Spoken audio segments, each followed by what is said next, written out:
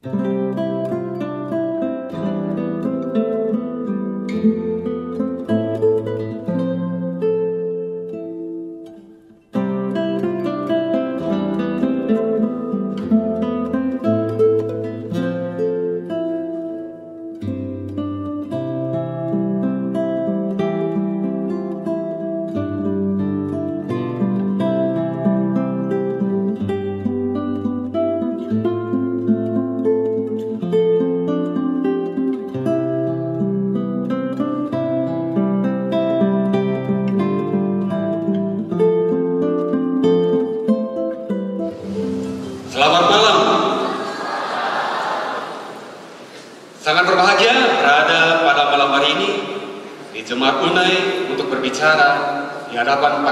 mahasiswa, demikian juga dosen-dosen dan seluruh anggota jemaat. Satu kesempatan yang istimewa bagi saya untuk dapat berbicara di jemaat. Pada waktu saya memilih topik ini, saya merasakan ada satu serangan terhadap diri saya. Serangan ini berusaha untuk menggagalkan supaya topik ini tidak dibicarakan. Saya mulai terserang flu dan batuk. Bukan hanya saya, tapi ketiga anak saya juga terserang penyakit. Sehingga waktu saya begitu sedikit untuk mempersiapkan pembicaraan. Saya juga berjuang untuk mempersiapkan diri, tapi ada saja gangguan yang datang supaya pekabaran ini tidak disampaikan dengan baik atau kurang persiapan. Tapi saya bersyukur oleh karena mendapat dukungan yang penuh dari jemaat ini. Beberapa adik-adik student saya yang ketemu dengan saya memberikan dukungan dan selamat, menyatakan, Sir, kami berdoa untuk Sir supaya menyampaikan firman dengan baik. Dan saya sangat dikuatkan oleh doa-doa tersebut.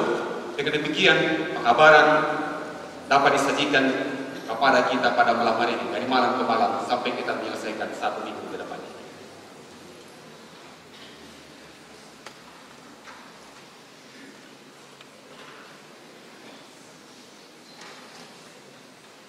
Di mana-mana kita menemui ada konflik. Konflik di dalam rumah tangga. Konflik di dalam antar negara. Konflik antara pribadi. Konflik antara suami istri. Konflik antara orang tua dengan anak. Konflik di dalam gereja. Di mana-mana kita menemukan konflik. Rumah sakit berdoa supaya banyak pasien. Pasien juga berdoa supaya jangan pergi ke rumah sakit. Terjadi konflik.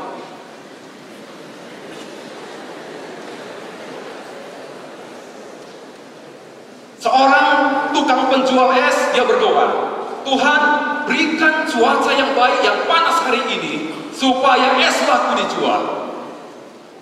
Tapi petani yang sedang menanam tanamannya, dia berdoa. Tuhan, berikan hujan hari ini, supaya tanaman saya bisa tumbuh dengan baik. Terjadi konflik. Yang satu menginginkan hujan, yang lain menginginkan musim kering. Supaya memenuhi kebutuhan. Dalam kehidupan kita, yang terdapat di dalam Alkitab kita temukan bahwa ada konflik yang sedang terjadi di alam semesta ini. Konflik ini bukan hanya konflik antara penjual es dengan yang menanam tanaman. Tetapi konflik itu adalah konflik pertikaian antara Allah dan setan. Pertikaian antara yang baik dengan yang jahat. Pertikaian itu bukan hanya dalam skala kosmik, tetapi pertikaian itu juga terjadi dalam skala pribadi, dalam skala personal. Dari minggu ke minggu kita akan melihat bagaimana konflik ini terjadi. Bila mana kita membandingkan satu ayat dari ayat Alkitab dengan ayat yang lain, kita menemukan satu bahwa pertikaian antara Allah dengan setan terjadi sepanjang sejarah. Terjadi satu moral kontroversi. Pertikaian moral yang telah mengganggu alam semesta ciptaan Allah. Pertikaian ini telah dikaitkan dengan rencana keselamatan yang luar biasa yang dinyatakan di dalam Alkitab. Rencana keselamatan bukan hanya menyelamatkan manusia dari perbudakan dosa, tapi rencana keselamatan itu adalah merupakan pembelaan Allah terhadap tuduhan setan yang diberikan kepada pada malam hari ini judul yang pertama yang akan kita pelajari adalah The Great Controversy, The Divine Secret. Dalam pertikaian itu, Allah memiliki satu rahasia yang tidak diketahui oleh siapa pun. Secara garis besar, ada dua pengertian manusia sehubungan dengan waktu. Yang pertama, apa yang disebut dengan sirkular. Sirkular itu artinya bahwa waktu itu dimulai satu titik. Dia akan berputar dan kembali ke titik itu. Begitulah waktu itu berulang-ulang terjadi dan tidak pernah berakhir. Tapi ada satu pengertian lain bahwa waktu itu bagaikan garis linear yang dimulai satu titik, berjalan terus menuju kepada tujuannya, kepada yang di depan, apa yang dinyatakan oleh Alkitab bahwa waktu yang dimengerti oleh Alkitab adalah dimulai dari satu titik menuju kepada titik yang lain. Ini mungkin gambarnya sangat kecil sekali tapi semoga bisa dilihat. Dalam perjalanan waktu sejarah, bila mana kita mundur ke belakang, kita akan tiba kepada satu titik di mana akal manusia tidak sanggup untuk memahami. Maka kita sebut, sebut itu adalah eternity past. Masa kekekalan yang lampau. Masa kekekalan yang lampau, Allah berencana melakukan sesuatu. Allah merencanakan melakukan sesuatu. Apa yang kita pelajari pada malam hari ini adalah di masa yang lampau Allah merencanakan melakukan sesuatu. Dan apa yang Allah rencanakan di dalam pikirannya itu merupakan satu rahasia yang tidak diketahui oleh satu makhluk ciptaan. Allah menciptakan semua intelligent beings, makhluk-makhluk cerdas dengan suatu sebagai satu agen moral yang bebas, yang merdeka. Agen-agen moral ini makhluk-makhluk cerdas ini memiliki kesanggupan untuk mengasihi Allah atau menolak akan kasihnya. Allah menciptakan satu makhluk yang bisa mengasihi dia, tetapi bisa juga untuk menolak kasih. Allah tidak menciptakan satu makhluk cerdas seperti benda ini, yang bila mana dia diletakkan di tempat ini, dia akan berada di tempat itu dan tidak mempunyai kemampuan untuk memilih. Tapi Tuhan menciptakan makhluk cerdas dengan kesanggupan untuk memilih. Memilih untuk mengasihi atau memilih untuk menolak kasihnya. Ciptaan Allah itu terdiri dari dua jenis kalau kita mau golong. Yang pertama adalah ciptaan yang hidup, artinya bisa bergerak, bukan hanya bisa bergerak, tapi uh, tapi uh, bisa bernafas dan lain sebagainya. Tapi juga ada makhluk Tuhan, makhluk ciptaan Tuhan yang yang tidak hidup. Dari antara ciptaan Tuhan yang hidup itu kita dapat golongkan lagi menjadi beberapa golongan. Yang pertama yang disebut sebagai golongan para malaikat. Golongan para malaikat ini lebih tinggi derajatnya dari manusia. Golongan yang kedua, kita tiba kepada golongan yang kedua yang disebut dengan umat manusia. Umat manusia itu lebih rendah levelnya dari para malaikat. Dan Allah memang merencanakan demikian. Membawahi umat manusia, kita juga memiliki kerajaan binatang berbagai jenis binatang-binatang yang kita tidak uh, bisa sebutkan satu persatu. Tapi sungguh banyak sekali. Dan membawahi kerajaan binatang ini ada makhluk yang lebih rendah lagi. Yang kita sebut sebagai tumbuh-tumbuhan atau tanam-tanaman. Dari empat jenis ciptaan Allah ini, maka nomor satu dan nomor dua yang disebut sebagai para malaikat dan umat manusia sebagai makhluk cerdas yang mempunyai akal yang tidak dimiliki oleh golongan yang kedua yaitu binatang dan terang-terangan.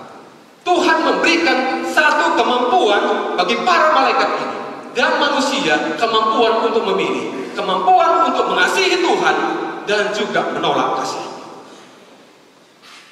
Allah yaitu Bapa, Anak dan Roh Kudus memiliki atribut-atribut yang bisa dia komunikasikan kepada ciptaannya dan juga ada atribut yang tidak bisa dia komunikasikan atau share kepada ciptaan.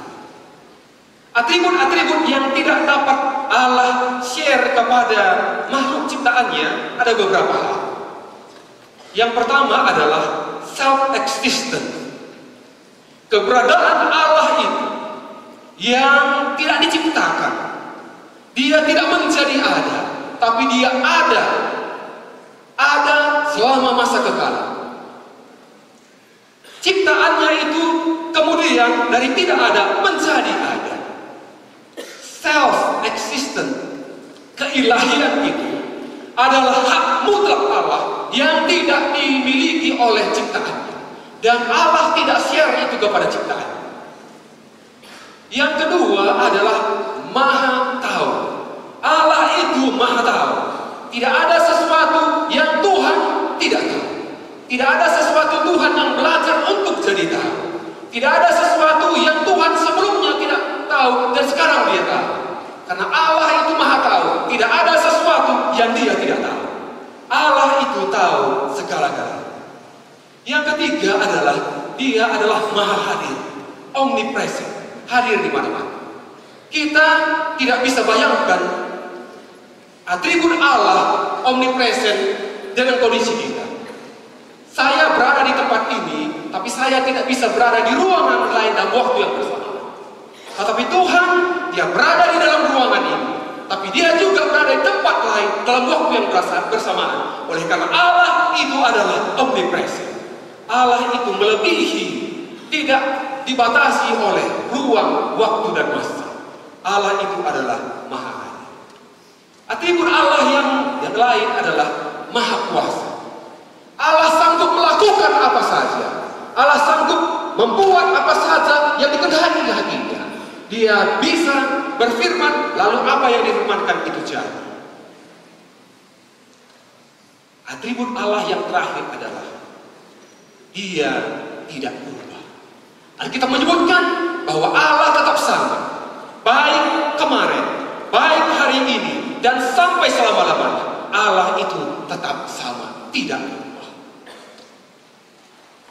Di dalam kemahakauan Allah itu,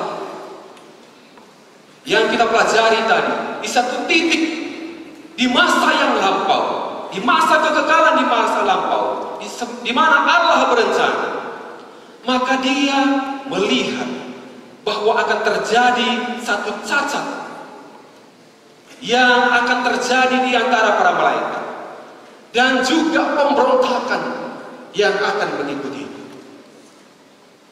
Bukan hanya itu, Allah juga melihat bahwa umat manusia suatu saat kelak akan tertipu dan bergabung dalam pemberontakan.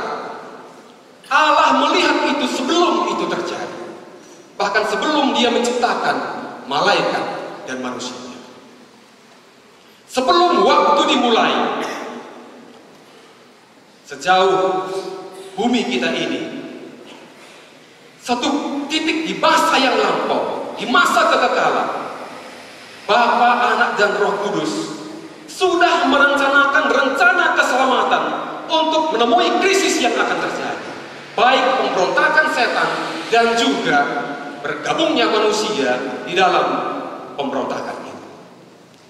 Rasul Paulus menyatakan bahwa rencana itu sebagai satu misteri. Satu misteri yang telah dipelihara, telah dijaga, tersembunyi, rahasia selama berabad-abad. Rencana keselamatan itu telah ditutup rapat-rapat berabad-abad lamanya. Tanpa ada yang tahu, hanya Allah yang tahu. Oleh karena itu adalah rahasia. Rahasia ini kadang-kadang disebut juga sebagai hikmat yang tersembunyi. Hikmat Allah yang tidak dimiliki, diketahui oleh siapa pun. Kecuali kealahan sendiri. Hidden wisdom yang telah dinyatakan, yang telah ditetapkan sebelum zaman dimulai. Sebelum dunia kita ini mulai, Allah telah memiliki satu hikmat yang tersembunyi.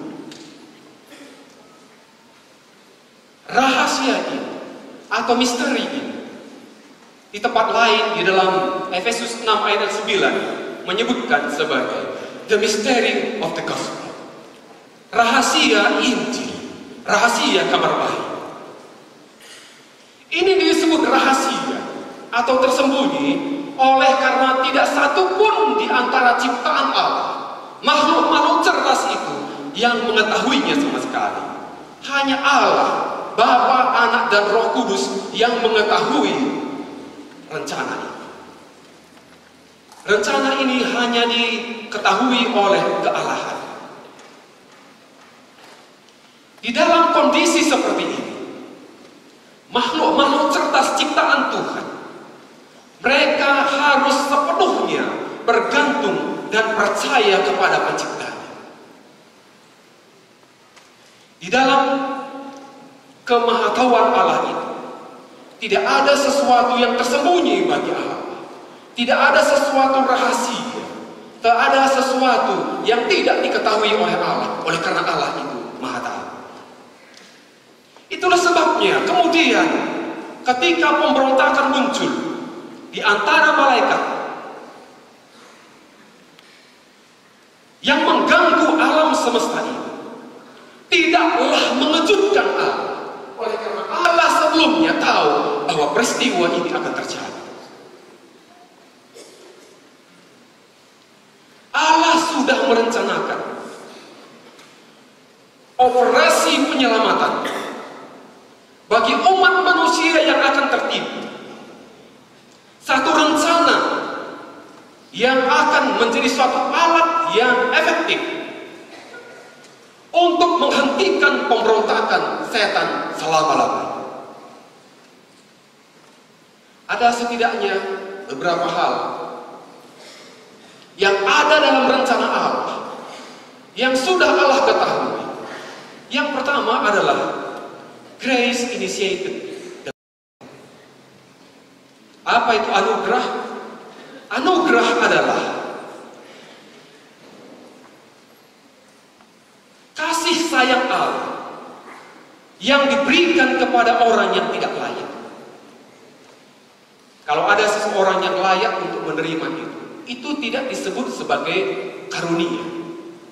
Itu sebagai upah. Kalau saya bekerja, kalau upah dari bekerja itu saya dapatkan, maka itu ada sesuatu yang pantas saya.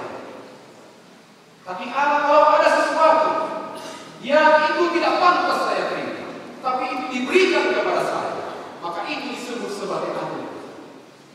Di masa kekekalan yang lampau, Tuhan sudah memiliki anugerah. Anugerah kepada makhluk ciptaannya yang akan berdosa. Dengan dasar ini, Allah memilih untuk menyelamatkan dan membuahkan orang-orang yang bertobat yang akan menerima rencana keselamatan yang ditawarkan oleh Allah. Rasul Paulus mengatakan bahwa kita diselamatkan bukan oleh perbuatan-perbuatan baik kita, tetapi perbuatan baik Allah. Perbuatan baik Allah, anugerah Allah. Melalui Yesus Kristus yang telah direncanakan sebelum waktu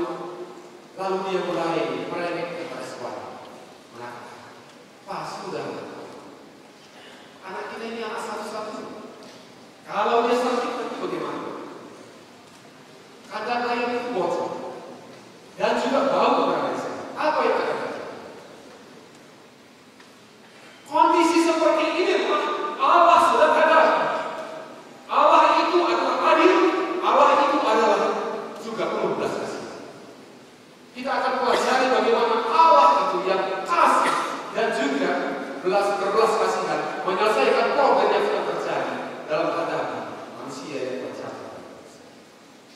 Sebelum kejatuhan atau kemasukan dosa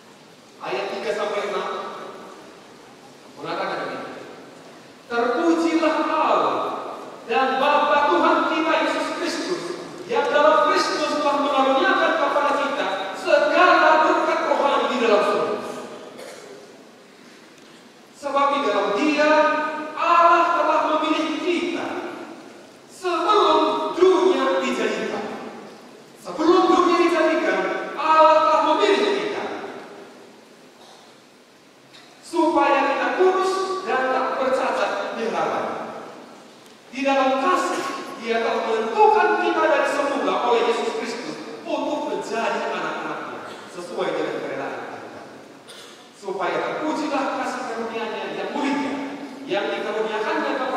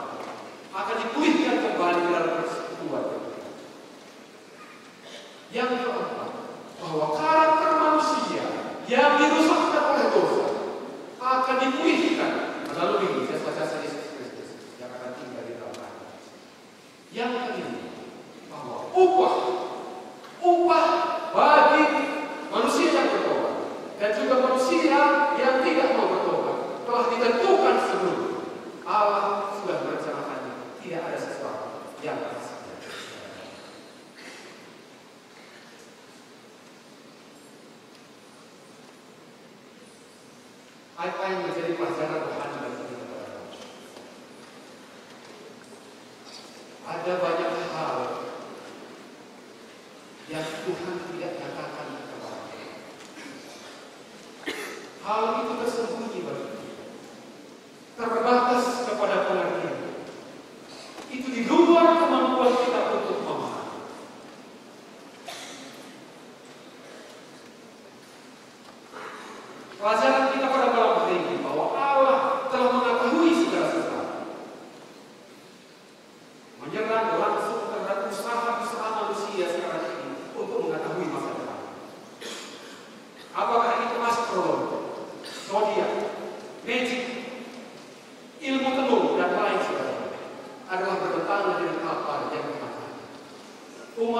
がついてくださ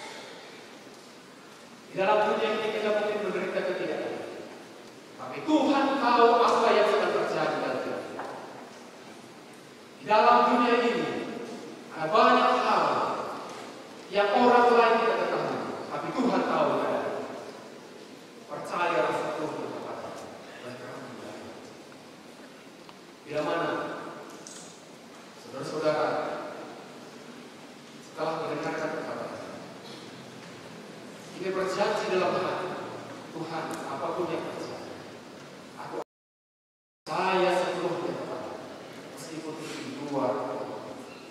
Kalau itu